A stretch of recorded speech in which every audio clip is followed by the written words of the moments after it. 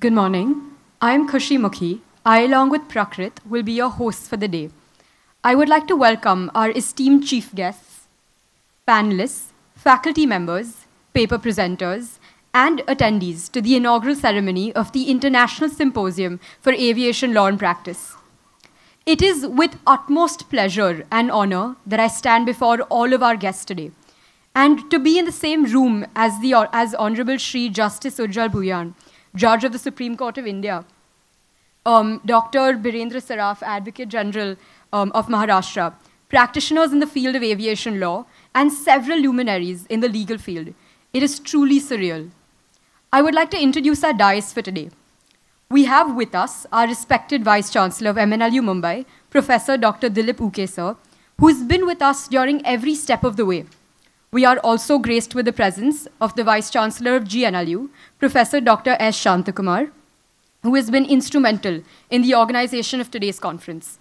Professor Sandeepa Bhat, someone who has played a pivotal role in every collaboration between the Center for Research in Aviation Law and Air and Space Law of MNLU Mumbai, as well as the Center for Aviation and Space Laws, NUJS. Someone who's been a mentor to our mentor. Uh, today, uh, with almost all the legal luminaries and as well as industry stakeholders present in this room, I think this is the best way to represent the collective effort and the collaborative spirit that all of us have while uh, all of us assemble here. And I think together we will be making an attempt into demystifying the ever expanding field of uh, air and space law throughout the course of the two day event. And before we move ahead and proceed to the inaugural speeches, I would like to uh, start on a very blessed note. So I think uh, I would request all the members of our dais to please proceed towards uh, the kindling of the lamp.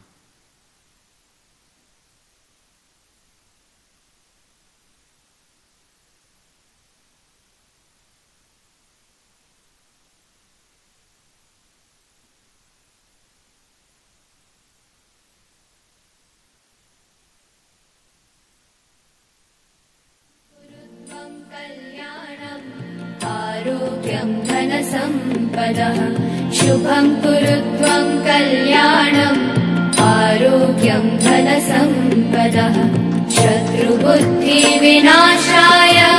दीपज्योतिर्नमोऽस्तु ते दीपज्योतिर्नमोऽस्तु ते शुभं कुरु त्वं कल्याणम् आरोग्यं धनसम्पदः शुभं कुरु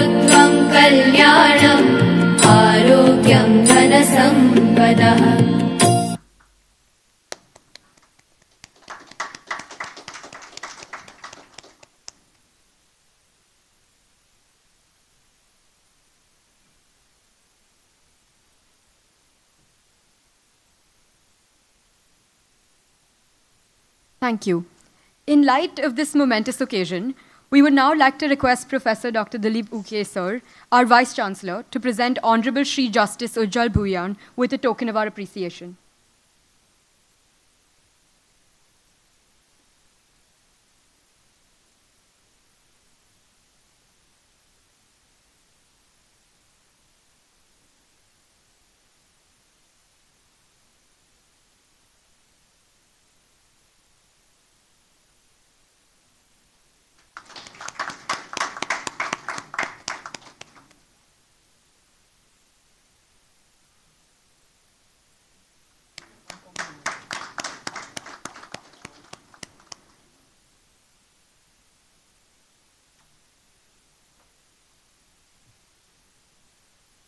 Thank you so much, sir.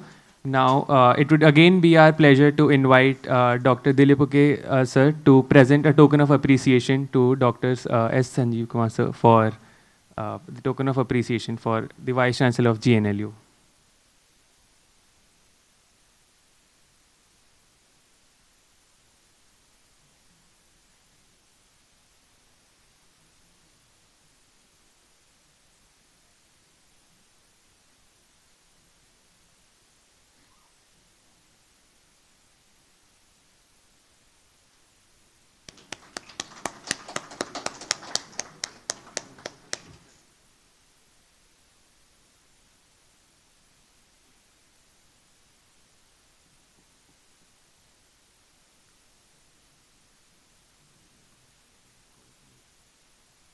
I would now like to call upon Professor Dr. Dilip Ukey, sir, our Vice Chancellor, to present the token of appreciation to Professor Sandeepa Bhat.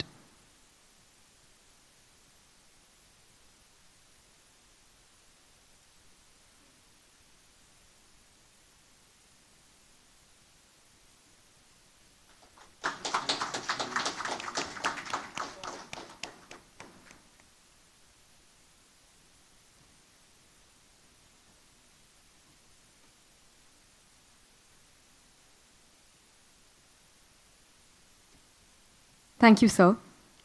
It is now with utmost pleasure that I'd like to introduce Assistant Professor Adithya Variath, the coordinator for CRASL MNLU Mumbai, to give the welcome address. Sir has been our mentor for the last two years of the Center for Research in Air and Space Law at MNLU Mumbai, as well as the visionary behind the inception of this event. And it is my privilege to invite him to the podium today. Thank you, sir.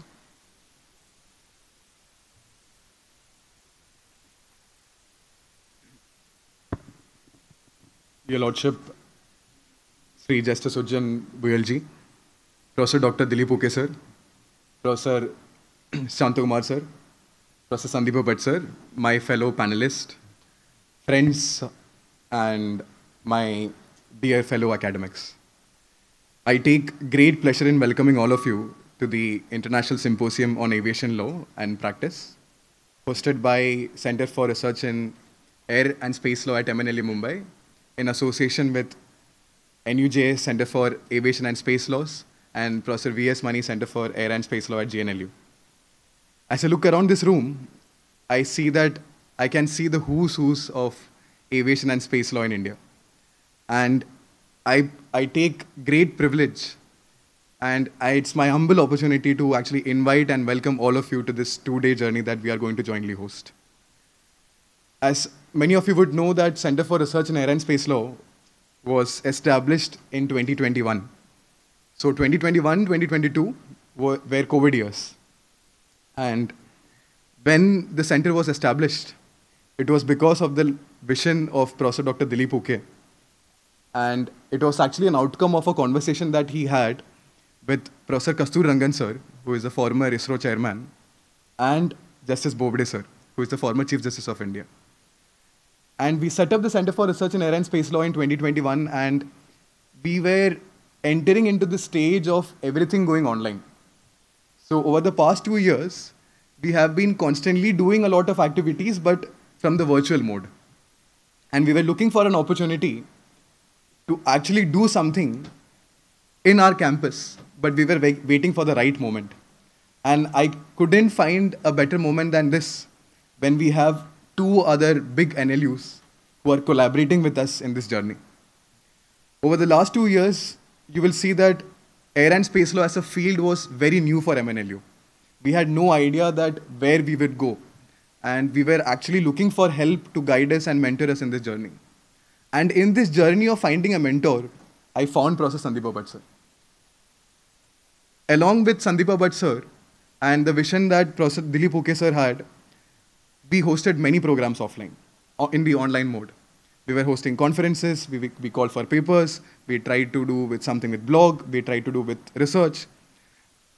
And you will see that Center for Aviation and Space Laws at NUJS, they have actually cared for us like a father. They have took care of us like a mother. They have actually built us. And we will and you will see that almost all the activities that we do, it is because of the generous help that NUJS has given, given to us. And we were actually looking for more partners, and then we found an, another gem of a person, Professor Shanthakumar sir, who said that we are also re- ready to collaborate in making this event a larger success. Now, this collaboration in itself is a celebration. You will never see law schools coming together and doing a conference on a niche field like aviation and space laws. And you will see that this conference has multiple purpose. We are here to deliberate upon a lot of issues. We are looking forward to some publication after the conference. And one of the main purpose of this inaugural session is to introduce this book called as a Handbook on Aviation Law, International Aviation Law, published by Thomson Reuters. You will see that the field of aviation is like the intricate web of flights on our global skies. It is complex, it is interconnected, and it is constantly evolving. I will take one minute to just tell you what was the journey behind this book. I'll just set the context because you will see Professor Sandeep Bhat sir and Ukey sir and Shantumar sir talking about the book. So the very idea of the book came when we started the center and I had a discussion with Professor Ukey sir in his cubicle saying that we need to do something to develop scholarship in aviation law and I think we have the position and resources to do it. He said that we should look for more colla- collaborators who can guide us in this journey. At that time, I was reading about air and space law and I was reading about this whole spectrum from the writings of Professor Sandeepa Bhat sir. So I asked Professor Ukey sir that can I request Sandeepa Bhat sir to join this project? And I was expecting that at max he will say no. I sent him a mail and it took, a, it took him only 14 hours to respond with a yes. And him joining the project has completely changed the project. You will see that this book that we'll be launching today has collaborators from Istanbul. We have collaborators from Cologne. We have collaborators from Montreal. We have collaborators from Bangalore, Delhi, Kolkata, making it making this work a truly transnational scholarship. And this would have been possible without the support that Professor Ukey sir and Professor Sandeep Bhat sir had rendered on to us. So with this, I welcome all of you to this conference. With this, I also welcome all of you in this journey of exploring aviation and space law. Thank you so much, sir.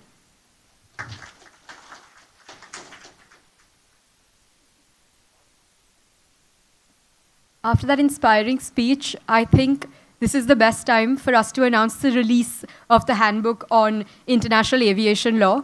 I would like to present the book to our dais, Professor Sandeepa Bhat, our Vice Chancellor, sir, our Honorable Chief Guest, as well as Assistant Professor Adithya Variath, sir.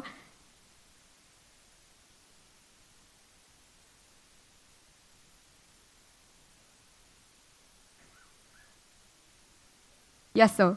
We would like to announce the release of the, interna- of the handbook on international aviation law.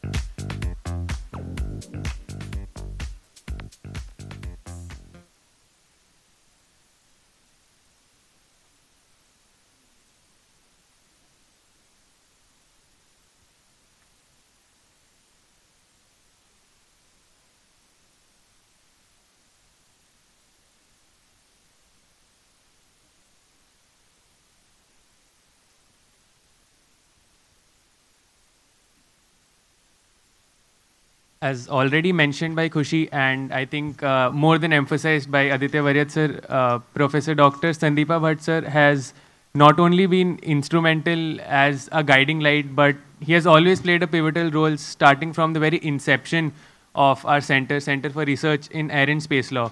And I think it would be just too less to limit calling himself and calling sir a stalwart when we talk about deliberations on air and space law in India.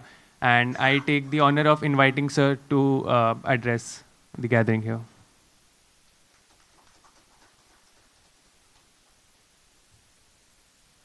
Uh, Thank you so much.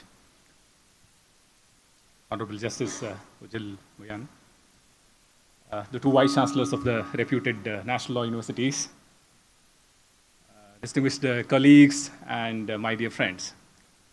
A very good morning to all of you. Uh, when all of them were uh, telling about actually me being the brain behind this particular uh, the event, uh, I had a pleasure, but at that same point in time, I was also a little bit humiliated because uh, the credit should go to both Professor Ukey and Adithya. Because, see, having the finances and then implementing that at the ground level is a different ball game when compared to that of actually having an idea and helping out with the idea. So I should really credit both of them for this uh, wonderful achievement. Now, in terms of uh, so-called air and space law, even actually Honorable Justice was just before discussing with me. Uh, let me just actually try to tell something. I uh, encountered with the air and space law for the first time in uh, 2002 when I was in my final year of LLM. Of course, final year of LLM because it used to be two years at that time, not uh, one year LLM. So we had a course on air and space law. Soon after that, I had some kind of a fascination, maybe because of my science background. So plus two, I have done it in uh, the science. So therefore, uh, maybe because of that, I thought that if I'm uh, having a long-standing career, I will try to do it in the aviation and space law. But no one to guide, of course, 2002. I wanted to actually do my dissertation on uh, aviation law, or sorry, space law to be very precise. My friends told me that actually you can think it of after life, going up, the soul going up, not actually uh, before that, because it would not help you in any manner to develop your career. At that time, it was IPR. It was all IPR, IPR, IPR. So everyone was doing their dissertation in IPR. And I was also forced to do an IPR, to be very precise. I did my dissertation in IPR. In the course of actually the studying uh, that subject air and space law, the first thing which I understood was that there is nothing called air and space law. There is nothing called air and space law. Let me repeat it. It's a myth that there is a subject called air and space law. There is only aviation law and space law. Or aviation law, you can say it as air law, whatever it may be. Both of them are completely distinct. The first thing which I have understood in this is that air and space law is a misnomer. And even my center's name, I have mentioned it as Center for Aviation and Space Laws. Right? So it is laws, the plural, since actually uh, it is not the single domain. More significantly, studying aviation law and space law together is also a disaster. I tell my students, actually, I think my first batch student is also here in the NUJS. First batch student, uh, Kiran was actually my first batch student, if I'm not mistaken. Yeah. Uh, so, uh, back in 2007. yeah, right. So, um, why I'm saying that actually studying them together is not advisable. To be very precise, aviation law and space law has got no interconnection whatsoever, except the fact that outer space is just next to the airspace. They're not even complementary to each other, they're contradictory to each other. Because the airspace is governed by the principle of sovereignty. State has got the sovereign rights over the airspace. Outer space is governed by the principle of freedom, which are contradictory in nature. And precisely because of that reason, even the principles or the different concepts which are applicable in aviation law and space law are contradictory to each other. Look into the process of licensing, look into the process of registration, look into the process of liability or maybe the fixation of liability. Aviation and space are completely distinct. If I were to tell you simply about liability, in aviation law, we fix the liability primarily on the private players. It should be either the carriers who are liable, or it might also be actually the, uh, the operators in certain circumstances. They would be liable to pay compensation. Space law speaks only about the liability of the launching state or launching states. It's the state liability. And even responsibility also, Article 6 of the Outer Space Treaty categorically says that even for the private space activities, the state is responsible. It's a direct responsibility attributed on the state. So that's why conceptually and fundamentally, aviation law and space law are completely distinct. There is no correlationship. Right? I always used to tell in my class that studying aviation law and space law together is nothing but studying tort law along with uh, tort law along with the criminal law. Tort law along with criminal law, not even tort law with the Consumer Protection Act. Of course, they may go hand in hand, but you know the concepts, how they are different in civil law and the criminal law. So I believe that actually it is studying them together, which would uh, make no sense. Right, so then 2003, I enrolled for PhD. I did it, I mean, I got the courage to actually enroll for space law at that particular point in time. Though there was nothing available, though there was actually no, uh, no one to mentor me, right? So despite that, actually, I thought of actually venturing into the, the space law. Uh, I also joined academia, uh, academics uh, during the same uh, the year. Uh, but it took four years for me to get, a, get an opportunity to offer the space law as a course. And I should credit NUJS for that because I joined NUJS in 2007. So uh, NUJS gave me an opportunity to actually develop an independent course. Since there are elective papers which are there in the NUJS, many elective papers, I got an opportunity. I should thank NUJS. I'm always grateful to NUJS for this reason, since I could able to actually develop my own uh, field therein. I think uh, Kiran's was the first batch wherein I experimented uh, space law, and that also happens to be the first course, independent course on space law in India. That's what actually has been informed to me, because until that point in time, it used to be only aviation and space law together. There was no independent course on the, the space law offered for the whole semester. Uh, 2008 I started uh, international aviation law. The very next year, I offered the international aviation law. When I was searching for the books, I found only one. Of course, when I was doing my LLM, there was not even a single book. We had only seniors' notes and some kind of actually articles randomly which they have photocopied from somewhere, which were actually handed over to us. Apart from that, there was nothing. When I started teaching, I saw that there was one fundamental book, Diederik Verschoor, IHPH Diederik Verschoor. You must also be actually having access to it uh, right now, but not covering all aspects. Because international aviation law has got public uh, aviation law, private aviation law, and the penal aviation law. You can say PPP, right? Three parts of that actually. Public aviation law to a certain extent was discussed, but still not the uh, Chicago Convention annexes and all. They were not discussed in the Diederik sure. Private aviation law, of course, Warsaw Convention, Montreal Convention to a certain extent were discussed. Rome and others were actually just a, given a skeletal of that. And even uh, financing aspect was never mentioned therein. There was no discussion about that. uh, aviation financing, one of the most significant aspects at present, was never discussed. Penal laws, very briefly. That's how actually one book was there. Remaining all were used to be voluminous books on each very, very small area. Like, uh, say, um, Lawrence Goldhirsch uh, is there with respect to the Warsaw Convention, which is of more than 800 uh, pages. So, uh, a very voluminous book on that. Similarly, on the Chicago Convention, you have got actually multiple books by Abeyratne on different aspects of the Chicago Convention, right? So, like that, uh, there are different books on different aspects of aviation law, but the problem is that it is too much collectively. If I tell my students to actually study in one semester all those books, they will become mad, right? So they will not actually opt for my subject definitely. So this was a kind of a situation. Uh, at that time itself, I was thinking that should be some kind of uh, an exercise in terms of having entire aviation law in a nutshell. Right? Not like in a, say, bulky manner, which would not be conducive for the students or it's not student friendly, so on and so forth. Unfortunately, uh, time did not permit me because I was more into space law, so I was writing uh, uh much in uh, the space law aviation law had that I had it in mind that that should be something which should be nutshell uh, student friendly, so on and so forth. Finally, uh, that was realized when Adithya contacted me. He contacted me for a handbook on air and space law, right? The same, I remember actually, and space law. I explained to him the same logic which I told you just before. Uh, then I said that we will have two separate handbooks, one on aviation law, one on space law. Uh, aviation law has been realized and currently actually today, today we have released it. Space law is in the pipeline, and I'm glad to say that in the very next year, I mean 2024, we are actually publishing the space law, and it's going to be published by the OUP, Oxford University Press. So we have a privilege of actually having it published by the Oxford University Press. Right. So hopefully we will have a similar kind of uh, the, the, event to uh, also actually launch the, uh, the space law book in the near future. Now, as far as the contents is uh, concerned, Adithya has already told that we have actually the scholars across the globe uh, contributing to this. And this is also with the specific reason because we wanted to have the different kind of inputs uh, therein in the, uh, the book. It should not be one-sided actually the approach to the international aviation law. So we tried to actually culminate all different kind of the inputs into one book. So different chapters you can find that in a different way uh, um, contributed by the different the authors.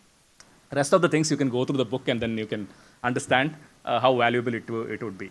And the last thing which I'd like to say is that uh, these two days, one on aviation law, one on space law, the two events which we are having, again, I have asked him to actually keep it separate. This is because both of them are having so much of development that one cannot imagine.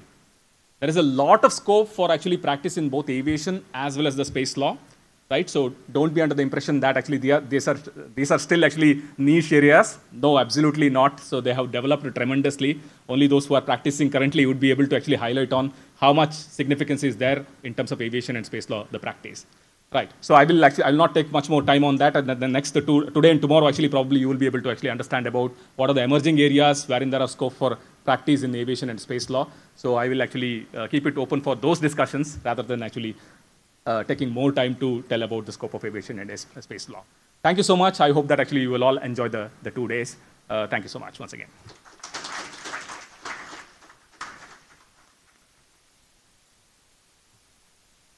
Thank you, Professor Sandeepa Bhat, sir.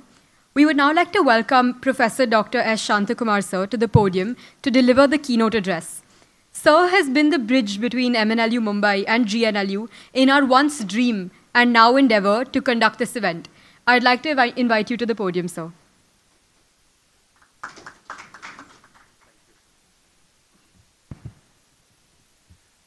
distinguished chief guest for this inaugural session of the International Symposium on Aviation Law and Practice, Honorable Mr. Justice Ujjal Bhuyan, Judge Supreme Court of India.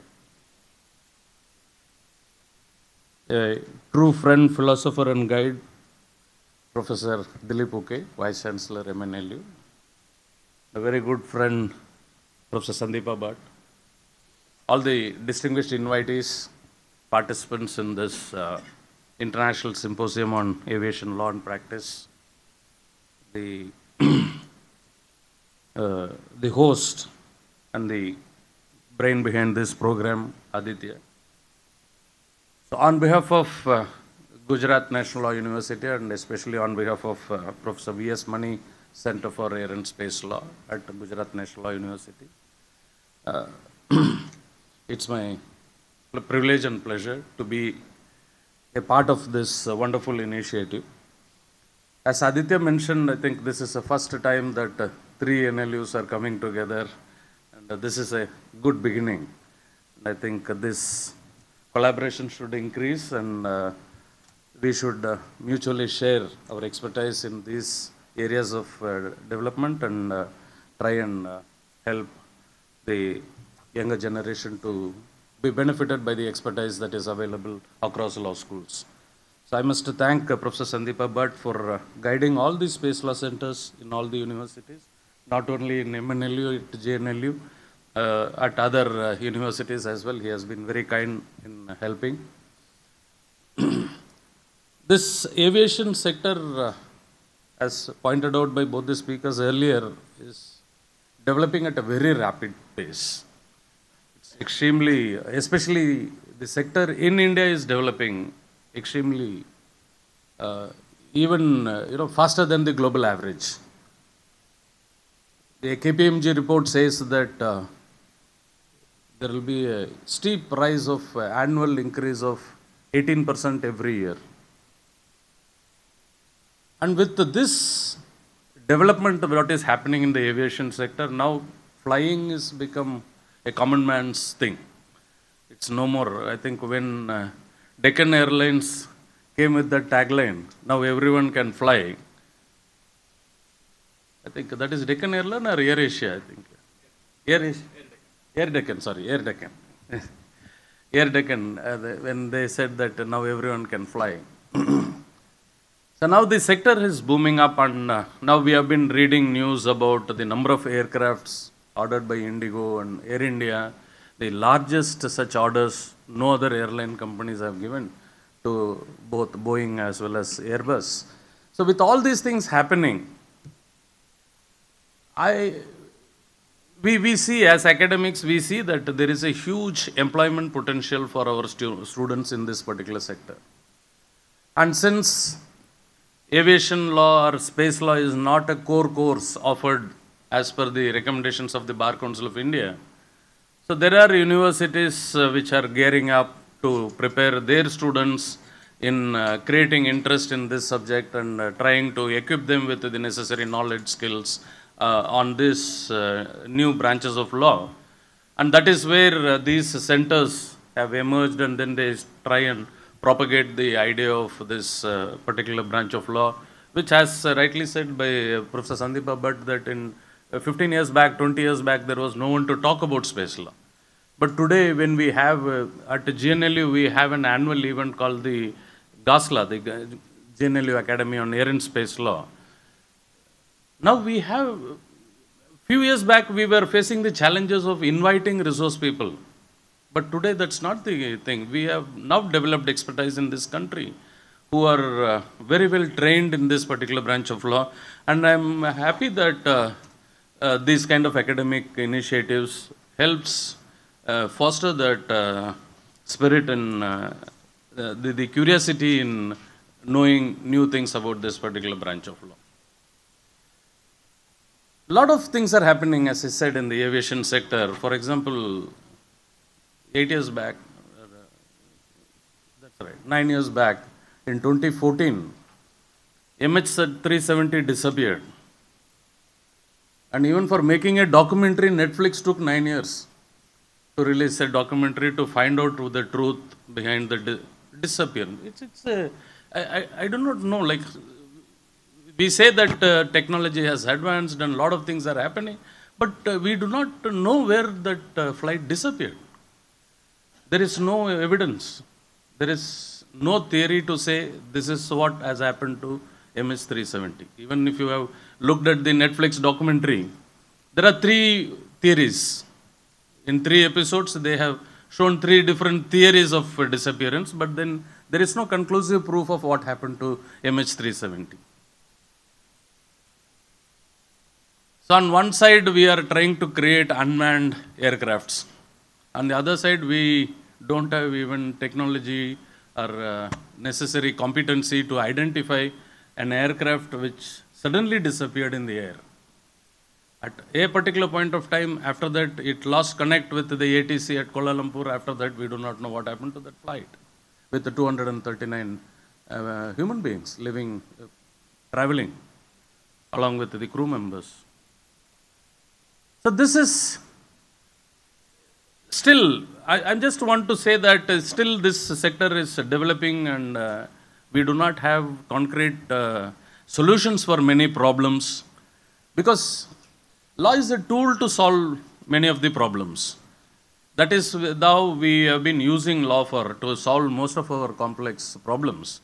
But now in the aviation sector, if you see the one case I'm just telling, 370, uh, we, we don't know what happened. Till date, no proof. Uh, Malaysia had abandoned their search exercise. And uh, look at uh, the notorious uh, shooting down of aircrafts by Russia. I think no other country has that uh, record history of shooting down civil aircrafts. So they have done it with Korean aircraft, they have done with again MH17, again a Malaysian aircraft, which was shot down. What are the consequences? Last week, many of you, if you have been following uh, aviation news in the news newspapers, last week, almost 20 aircrafts flying over Iran got lost. 20 aircrafts, not one, two. This is a very scary thing. Very scary thing because, okay, 370 is now a history, but this happened last week. Just see that information. It appears very scary. And two of the Indian uh, airlines were also affected by that. Indigo and uh, Air India got affected by this, uh, what they call it as GPF, GPS spamming or uh, spoofing. Both have happened. I think Indigo airline pilot was trying to reach out to all the nearby ATCs to understand where is he flying and what is the time. This is the conversation that we could ha- have right now. He was clueless as to where he is flying and what is the time that he is flying, in what is the time zone. You can imagine the, how scary it is when you do not know where are you and what time is it. It happened just last week. And still, you know, we do not know who has done it. Still, we do not have, nobody had claimed uh, anything over this particular incident. And uh, I saw that yesterday, DGCA had formed in India a, a committee to see that those kind of things doesn't happen in India. Because GPS uh, spoofing and spamming, it happens. So a lot of the things, you know, the, the way technology improves, technological advancements are improving, it's not happening with the laws. I think we are still stuck with the Aircraft Act of 1934. We have been trying a lot. We have been trying a lot to come out with a new Aircraft Act.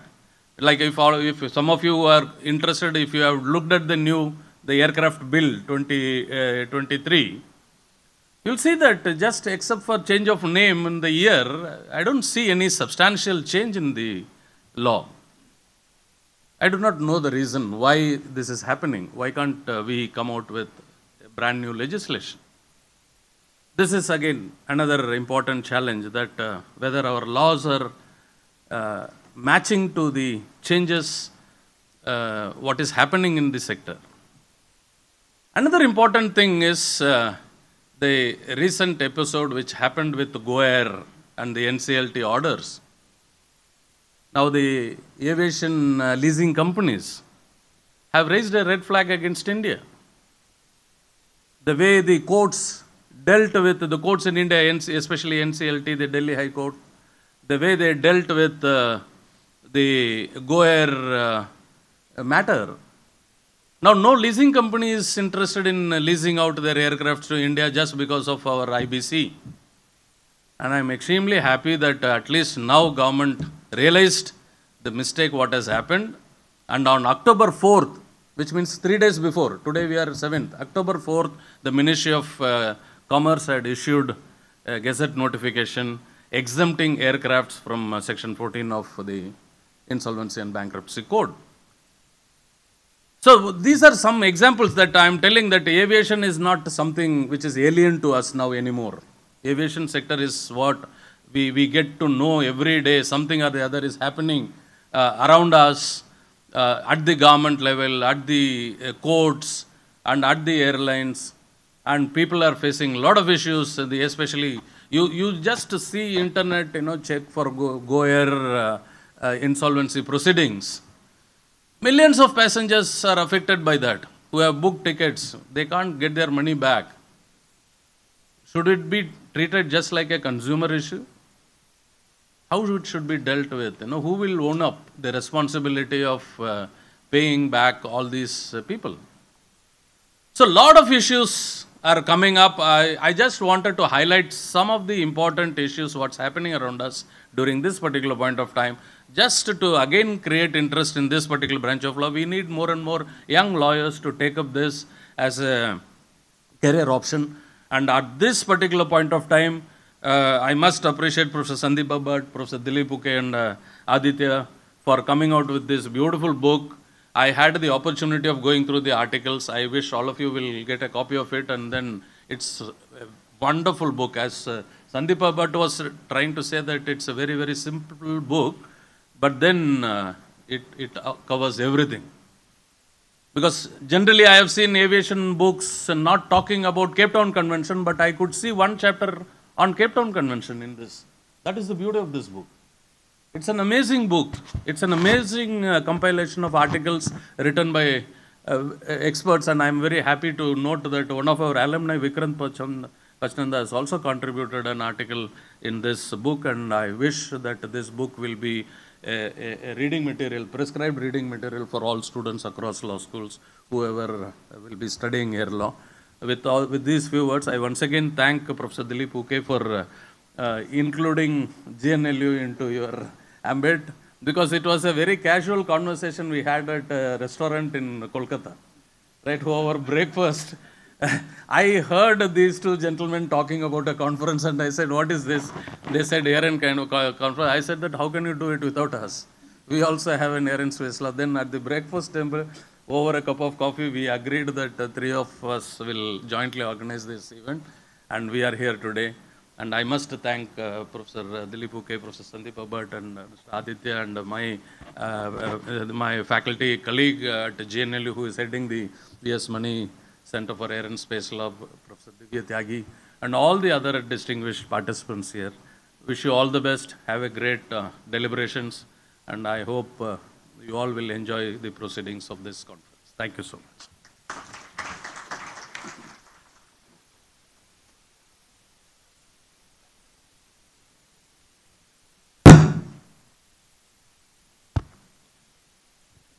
Thank you so much, sir. Uh, again, picking up from where Dr. Shanthakumar sir and uh, Dr. Uh, Sandeepa Bhat sir left, uh, they created the distinction of having just pitched an idea, probably over breakfast or a cup of coffee, and then actually making it a reality of having all the stalwarts of the field present here with us today. And that would not have been possible for, but without uh, Dr. Dilip Ukey sir's commitment and the institutional support that he brings with it, that an idea which was probably pitched within the center um, a lot of months back uh, has been realized into reality today.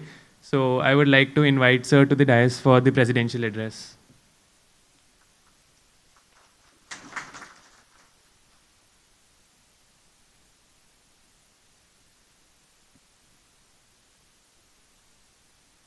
chief guest of today's inaugural function, honourable Shri justice Ujjwal Bhuyan sir madam Bhuyan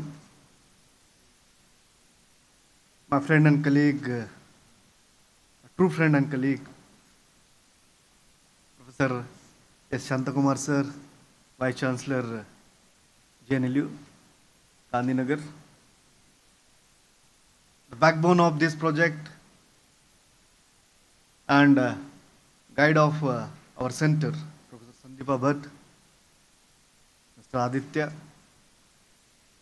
all uh, resource persons, including Dr. Jessica from Indonesia, and other resource persons, participants, and dear student friends and colleagues. A very happy and good morning to all of you. Indeed, uh, it's a great pleasure to be here today for this inaugural program of uh, rather two days, uh, two different uh, programs. Today it is International Symposium on Aviation Law and Practice, and tomorrow, as it was pointed out, about space policy, the workshop on space policy, which is collectively organized by the three different centers. One is Air and Space Law Center of MNLU Mumbai, then VS Mani Center of GNLU, and Aviation and Space Law Center in UGS, Kolkata. As a just few minutes before, uh, we also released the book. We used this platform, this occasion, to release this book, a handbook on international aviation law, edited by Professor Sandeep, Sandeepa Bhat, Adithya, and myself, which has been published by Thomson Reuters. I'm really honored and excited to stand before you today to present this book to all. Professor Bhat as well as uh, Professor Shanthakumar sir have pointed out the need and relevance and moreover its utility of this particular book, which has been culmination of the countless uh, research, hours of research carried out by the researchers as well as their dedication and moreover it is the collaboration. Collaboration of three different NLUs who have same aim, same goal and same agenda. Adithya has pointed out that how come the Center of Air and Space Law in MNL Mumbai was established. Rather, it was just a sheer coincidence that I happened to be at the residence of our former Chancellor and former CJI, Honorable Justice Bobde sir. And you won't believe that uh, that interaction went on for more than two hours, almost two and a half hours or so. Wherein we have discussed several issues, including even the issues about the urbanization, issue about the traffic, issues about the high seas, and then even air and space. At that juncture itself, he gave a call to Dr. Kasturirangan sir. All of us know well who is he. A former ISRO chairman, former member of parliament, chairperson of NEP.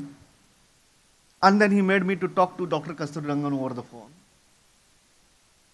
Not only that, uh, we have decided that uh, we shall meet him, I shall meet him at his office, and then also visit ISRO. Dear friends, uh, I must share with you that uh, just within a month or less than a month thereafter, I visited Dr. Kasturirangan sir's office. Half a day discussion took place there, and thereafter went to ISRO office, had a discussion with the then chairman of ISRO, Dr. K. Sivan, when Chandrayaan 2 was going on. The discussion about the Chandrayaan 2 and planning of Chandrayaan 2 was going on. And then ultimately, this Air and Space Law Center herein came to be established.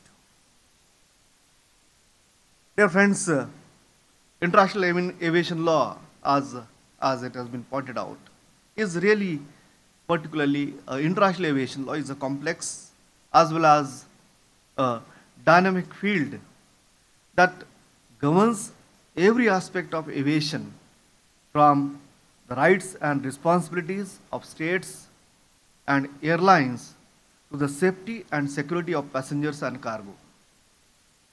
It touches upon issues such as air traffic management, aviation environmental concerns, airline liability, and much more.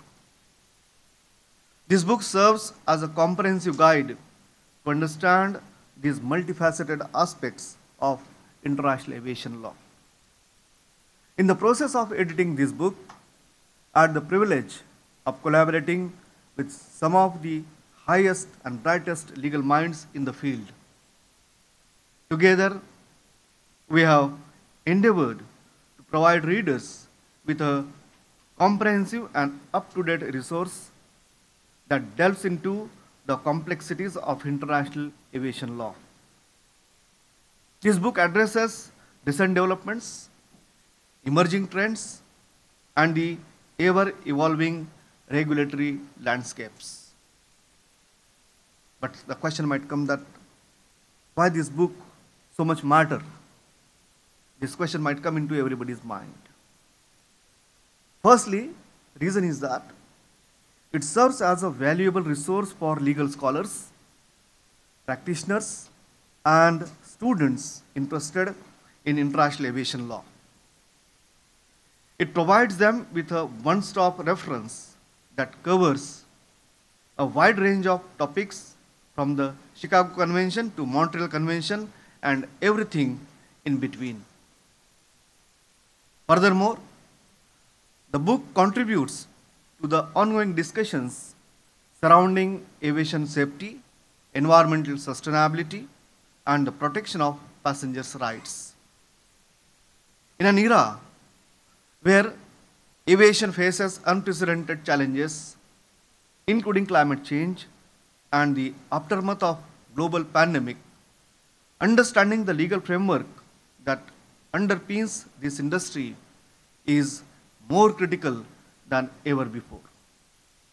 I want to express my heartfelt gratitude to all those who have supported and contributed to this endeavor. I hope that this book will serve as a source of knowledge, inspiration, and a catalyst for meaningful discussions in the realm of international avi- aviation law. As Professor Sandeep Bhat has already pointed out that. The third one is coming up. Third one, why I'm saying that a few months before, just uh, last but one month, we came out with uh, another book on international handbook on environmental law. That's why, in that sense, third one. Third one, third book, that too with uh, Oxford University Press on space law will come up. I'm hopeful that this aviation law book as well as the forthcoming book on space law will serve a guide in true sense to all the researchers, practitioners, as well as whole academia. With this, I thank all of you and wish you all the good luck, best luck for two days deliberations on two different topics which are more required in today's present circumstances. Thank you so much.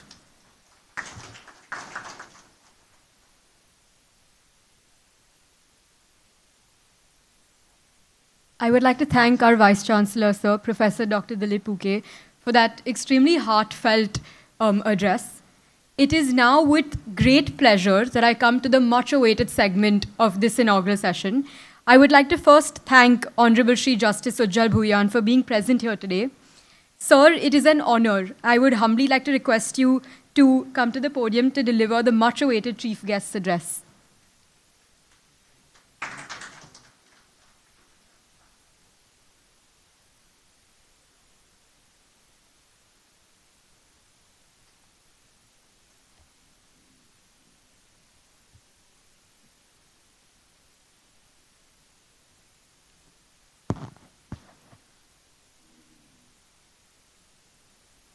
Professor Dilip Ukey, Professor Shanthakumar,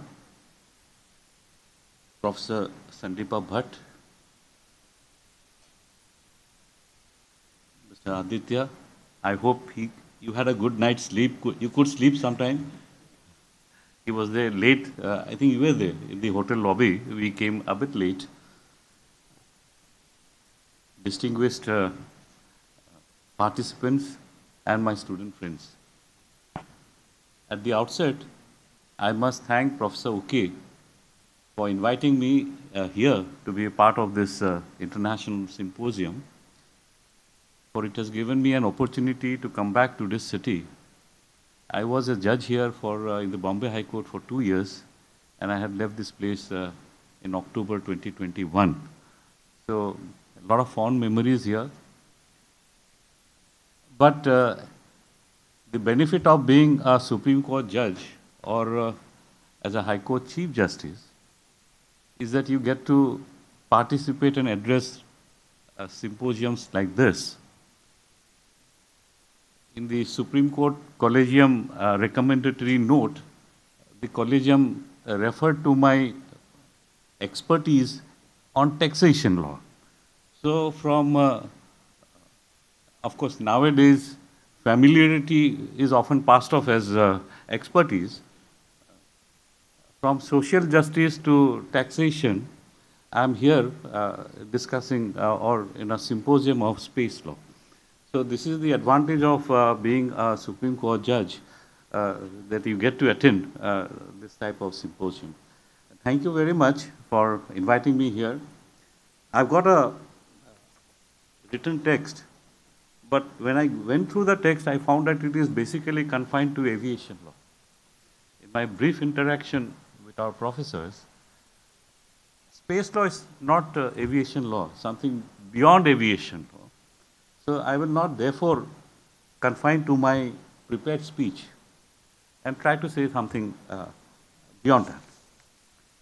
Friends, at the outset, I must congratulate the three editors of this wonderful book. I got a copy of this book before it's, uh, it was uh, it's, uh, formally released today. I have gone through it, and I must congratulate all the authors for their painstaking effort and the deep research they have carried out in uh, uh, publishing this handbook. They have termed this as a handbook, but I'm sure this, in due course of time, this will be the book when we uh, study or proceed uh, to deal with aviation law. We are all evolving. Law is evolving. We are all evolving. When I was a lawyer or when I was a judge, I hardly come, came across any matter relating to space law. Aircraft Act, as uh, uh, Shanthakumar has said, yes, of course, but nothing to do with uh, space law as such. So therefore, as we say, we are all evolving. We are no longer what we were, say, five years back or ten years back as students of law or as uh, in the judiciary. See, uh, when we speak of aviation law, fundamentally, we all have to remember that we are all students of law and having an abiding faith in our constitution. When we speak about space law, naturally, space law, there is interplay between law and science. There cannot be a study of space law divorce a belief in reasoning and science. Therefore, it is essential that we go back to Article 51A of the Constitution and reaffirm our commitment to reasoning and scientific thought process. It is one of the fundamental duties of every citizen of India to believe in science and technology and to believe in reasoning and to clear our minds, thought process, thinking from superstitious beliefs. We can't discuss space law, we can't discuss science, technology, or going to the space and discuss space law if we are if our mindset is of uh, uh, has cobwebs of superstitious beliefs. Religion is something different. Superstition is something different. So, as students, uh, please uh, keep this in mind as students of law, all, we, all of us uh, need to keep this in mind that we can't study space law, we can't study uh, interplay of space and space law if we are steeped in archive uh, uh, uh, this uh, thought processes, we need to come out of those. Therefore, in fact, I can say uh, all of us need to recalibrate our thought process. Recently, I had uh, uh, visited one university and I spoke to them about equality as understood by Professor uh, Dr. Babasaheb Bhimrao Ambedkar. Substantive equality, formal equality, substantive equality, these are very, very essential. We need to go back and relook what Baba Sahib Ambedkar said in 1936. Government of Maharashtra has published his uh, works, uh, speeches and writings of uh, Dr. Ambedkar in the form of a book, including his speech, which he could not deliver uh, in Lahore in 1936, which he titled as Annihilation of Caste. As students, we need to understand, critically examine these issues. These are very, very essential. As we move on to science, uh, into more space and study space law, let us not take our all these inequalities into space and uh, uh, create another social order there, completely disparate social order there. It is a great, uh, it's, a, it's a very good thing that three of the uh, NLUs have collaborated uh, to have this symposium. This collaboration we can also expect amongst the, uh, the countries of the world when we uh, deal with space law or space programs. In fact, the 1967 uh, treaty, uh, Treaty on Principles Governing Activities of States in Exploration and Use of Outer Space, including the Moon and the celestial bodies, 1967, it says that uh, no nation can own the space, no nation can own the Moon or any other spatial uh, celestial bodies. If that be so, space or the celestial bodies offers us a great opportunity for collateral uh, exchange of ideas, uh, collateralism, not only between nations, but amongst uh, the academy, academia, amongst the scientific fraternity, and study of science, study of space, study of space law must be for the benefit of humanity, not to perpetuate uh, the inequalities which we see uh, in the country, which is unfortunately the fault lines are more pronounced than what was, uh, what was there earlier when we were still in the law schools. So, friends, uh, uh, I must uh, congratulate the MNLU uh, Mumbai for organizing the, the seminar.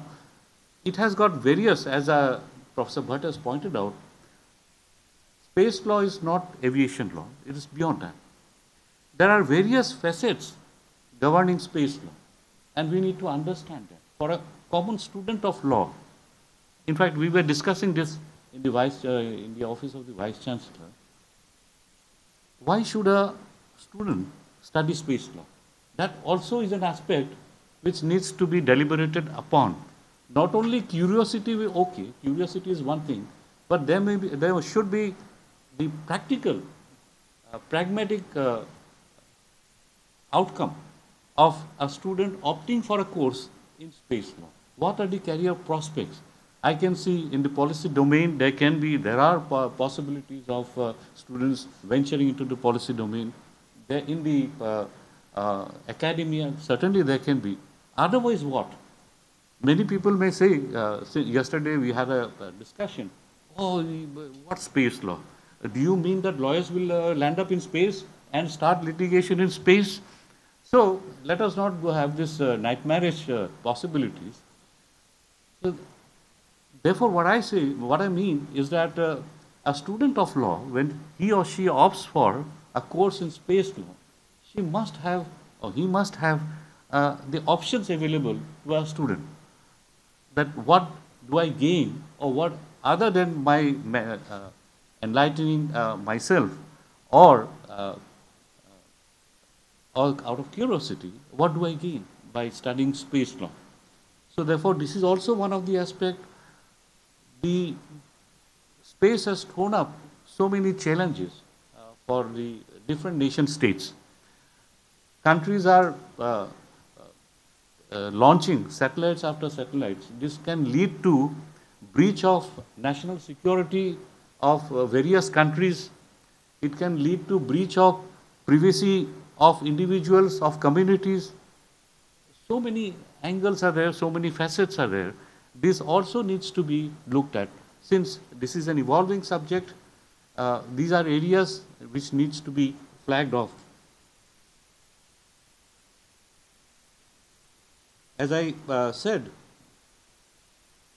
let us not carry uh, the conflicts that we see on the earth between nation states. Uh, the other day, uh, uh, Professor said, the ongoing conflict between Russia and Ukraine, it is unending. When will it end? We are asking ourselves, when will it end? Within the country, we see conflicts in certain parts of our country. It is unending.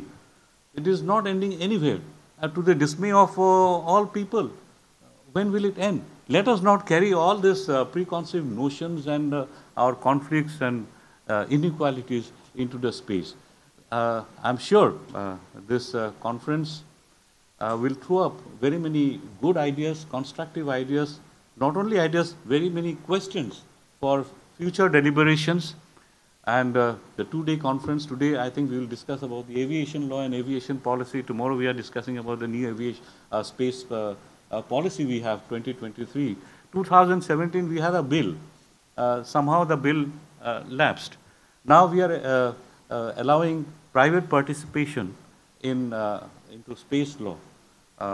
It definitely will lead to a lot of commercial activities, private activities. So when there is commercial activities, certainly contracts and other things will come in. The scope of lawyering will also come in. So these are the aspects uh, the seminar will certainly discuss and pose questions for future deliberation as well.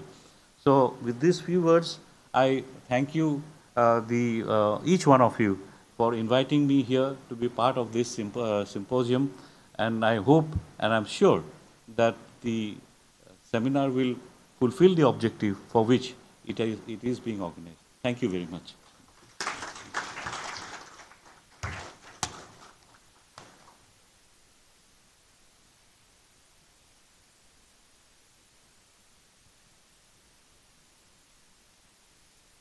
Your Lordship, you mentioned the importance of logic and reasoning in every discipline that you perform, and I myself, being a science student, I couldn't agree more. Your Lordship, your passion for social justice has truly shined through, and I'd like to thank you for that. On this note, I'd like to invite Assistant Professor Aman Khare to deliver the, the vote of thanks.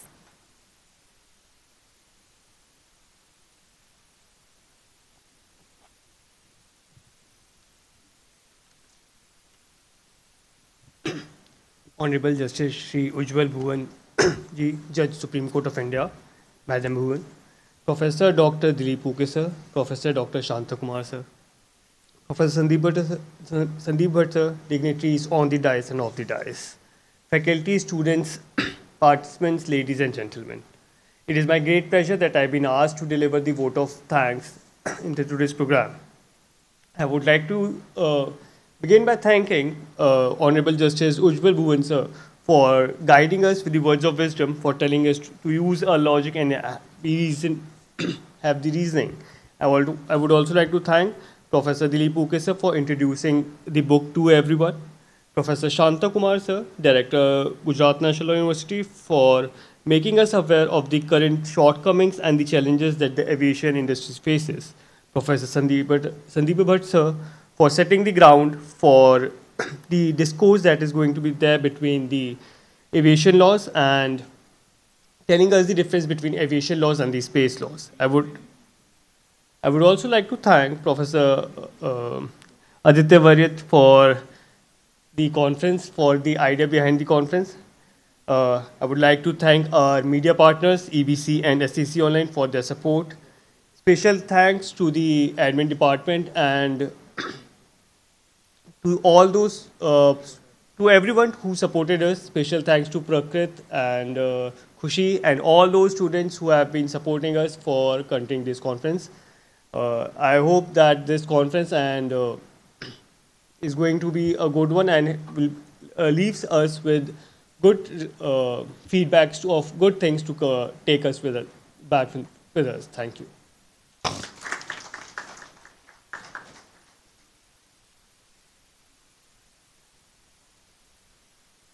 Thank you so much, sir. Uh, we'll be uh, resuming after a short break of 10 minutes with the technical sessions.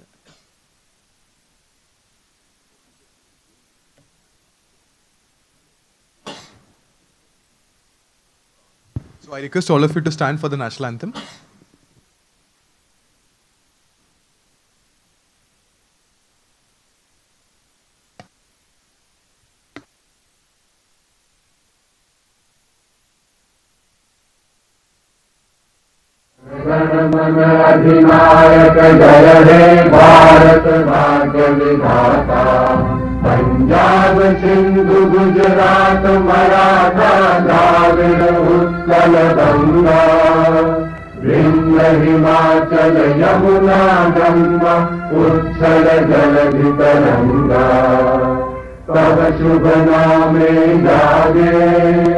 शुभ शुभ आशीष मांगे। गाहे तब जय गाथा जन गण मंगल दायक जय हे भारत भाग्य विधाता। जय हे जय हे जय हे जय जय जय जय हे।